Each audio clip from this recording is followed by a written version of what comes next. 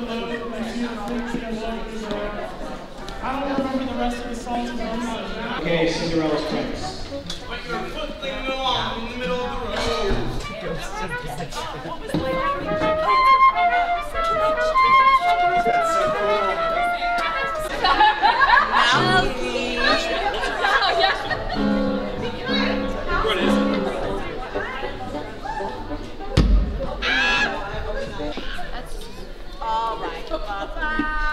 The Maidens? I'm sorry, pause for just a second for me. Once upon a time. Into the Woods is like one of the greatest musicals in history. You know, it's a Sondheim work. It's just got great music. It takes like these familiar tales that you've heard and heard again and like shows what they really represent, you know? Into the Woods is something I would say it's very different than what Briarwood usually does. It's much darker than our other productions. The first half is pretty happy-go-lucky, but that second half it gets it gets heavy. Dark. It's just it feels different. It's nice to do something that's refreshing. Into the Woods is a really fun mix of several fairy tales that are very common and recognizable, so they're easy to follow. However, um, there's a twist in the middle of it, and it creates a really good moral at the end.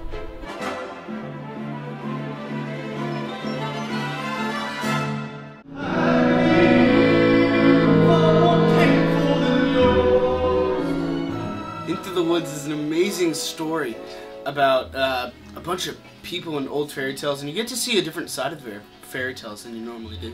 That's what I like about it. Just that it, it has the original feel of the actual original fairy tales and not some weird Disney spin on it. You know, that fun stuff. It's really fun and entertaining. It's really cool how there's a bunch of fairy tales all intertwined together and they all kind of meet in the woods.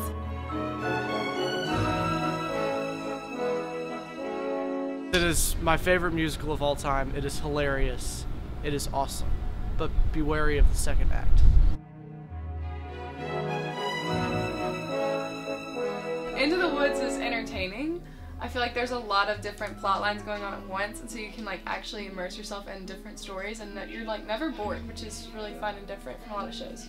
Into the Woods is very funny, and I think everyone can find themselves in at least one of the characters in different ways.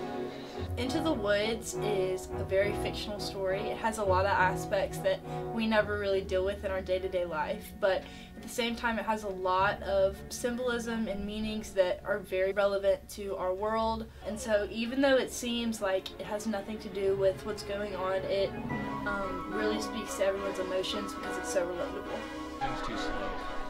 Cinderella